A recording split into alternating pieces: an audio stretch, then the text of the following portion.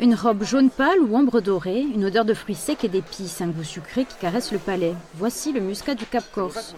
Protégé par une appellation vieille d'un quart de siècle, ce fleuron de la viticulture insulaire est apprécié dans le monde entier et nombreux sont les viticulteurs corses à le produire. Parmi eux, Marie-Françoise de Vigue, dite Mademoiselle D, héritière d'une lignée de vignerons du Nil. Moi, le mien est un peu particulier parce que c'est un muscat qu'on fait vieillir trois ans, c'est une recette familiale.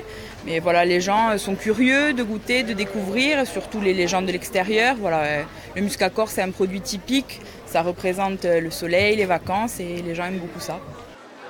En Corse, la production AOP de muscat, c'est aussi une manne économique importante. Elle représente 63 hectares de vignes, 1300 hectolitres et 160 000 bouteilles par an.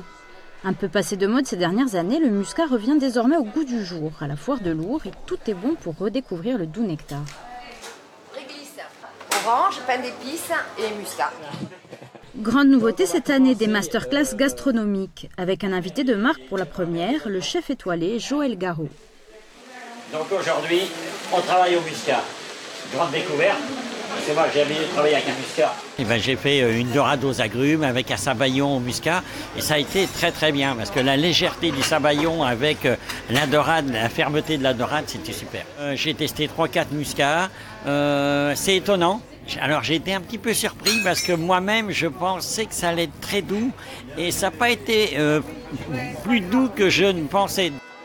Les visiteurs ont été nombreux à prendre la route du Cap pour cette 29e édition de la foire du vin de Lourdes.